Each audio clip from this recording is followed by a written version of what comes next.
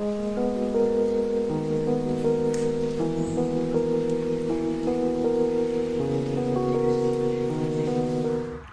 my name is Mark Wilson and I'm a water gardener. What we've got here is we've got a fountain outside of a beautiful house. See it's a great big lovely house on the main road but when the fountain's working it drowns out the noise of the traffic. You can probably hear it behind me.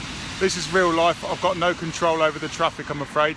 This pond has got a big problem with green water. Single cell algae just takes out nutrients. A couple of things you could do with a fountain out the front of your house is one you can add chlorine and um, keep it sterile. Sterile conditions obviously is not an ecosystem. What we're doing on this pond is basically we're um, going to shade the pond by putting in water lilies. They don't compete with the for the nutrients because they take the nutrients out of the, the pot and then we're going to put in some floating water hyacinths that will compete and shade. So bear with me and I'll get it done. Right, I've got another top tip for you.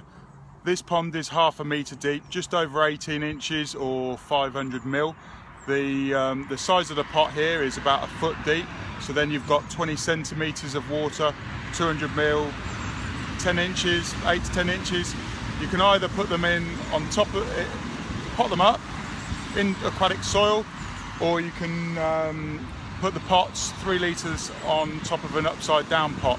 Got a couple of options. Basically, when they're grown in the nurseries, they're grown in very shallow water. They're not grown in half a deep, um, half a metre deep ponds.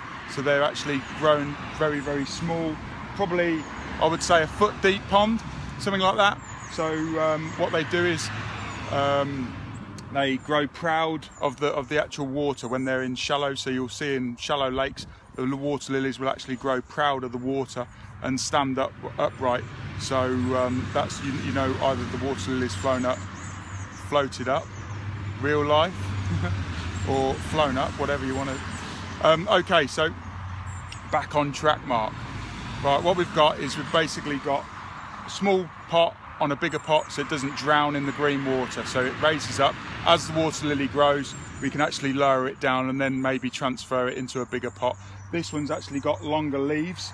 So we're actually gonna, we've potted it up now and put that in and see if it's too deep. Um, because it's green, what we don't want to do is we don't want to block out all the light. The single cell algae may kill the lily. If you can't see it, it can't grow because it can't get the light to grow. So just to see them in situ, you can see the one that you can see the leaves. That's upside down on top of the pot. And the one behind just here is actually the correct depth. It will come up, no problem at all. So we'll actually pot this one now.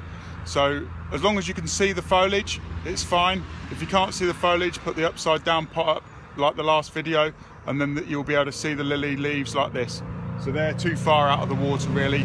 Once they've um, settled down for a while, they will actually stand up but because um, we can see the leaves then it's not a problem we'll pot them all up now just to say accidents do happen. When I was lifting this water lily the pot cracked. This is retail available. Brand new bought today. Now I've got a mess to clear up. Bad times. Just been clearing up the lily pot on the side there and look what I found in the hedge. Checking me out look. Nice damp day. Happy as Larry. Or perhaps not. That's where he belongs with the flies on a wet day like this. So what we've got here is we've got a green pond and we've put in water hyacinths and six water lilies. You can't see them at the moment on the footage because they're just below the surface and we've got to wait for a couple of weeks for them to come up. But I will come back. I'm sure you'll can't wait. Roll on the weekend. I'm back on site again. Remember we had green water in this um, fountain. We put some water lilies in and look how well they're doing. They're doing great. And actually they've uh, shaded the surface so the water's actually clear now. Isn't that fantastic? Just by adding some plants. We took the floaters out because they were getting scorched, so we put them into the main pond.